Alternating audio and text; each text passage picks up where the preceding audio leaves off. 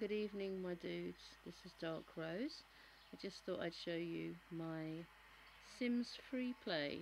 This is my teenager, she's studying I think. I have a dragon, I think who wants to ice skate, and there's a dog. Don't know where don't know where that's got to. This is something that I created, I think. But she's studying. Um, I guess and the dragon wants to kill somebody. That's nice of it. I think it's snowing in downtown Simblin. Oh, you can hear the dog.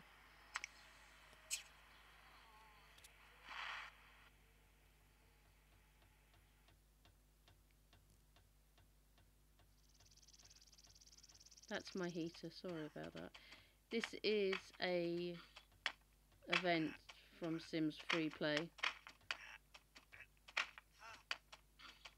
They're all doing some exercise.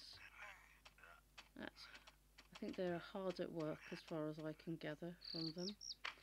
This is a house that I'm building at the moment. Um, I have to finish it yet. I don't really have the time at the moment. I don't.